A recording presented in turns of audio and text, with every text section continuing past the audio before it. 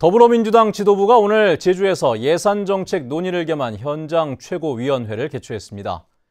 이 자리에서 더불어민주당 지도부는 제주 4.3 특별법 개정안의 국회 통과를 약속하고 또 제2공항 문제에 대해서는 절차적 타당성을 확보하도록 지원하겠다고 밝혔습니다. 박주연 기자의 보도입니다.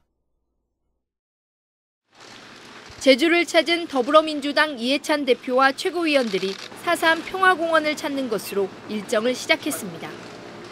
4.3 희생자를 참배한 지도부는 유족들과 만나 희생자 배보상이 담긴 4.3 특별법 개정안의 국회 통과를 약속했습니다.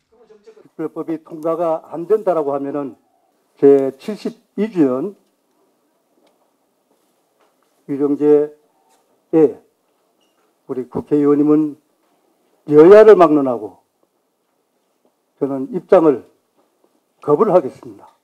이번 정기국회 내에서 그 처리가 될 수 있도록 저희도 최선을 다하겠다는 말씀을 드리면서 현장 최고위원회를 겸한 예산정책 간담회에서는 제주 지역 예산과 민생 현안을 논의했습니다.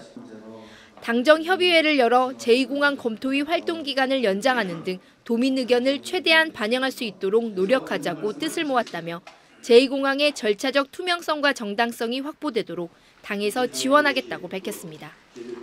녹지 국제병원에 대해서는 정부 차원에서 대책을 강구하도록 노력하겠다고 덧붙였습니다.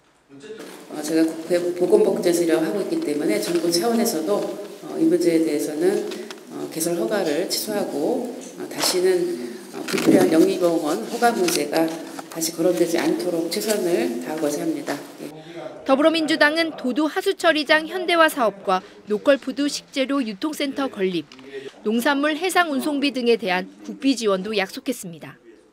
MBC 뉴스 박주연입니다.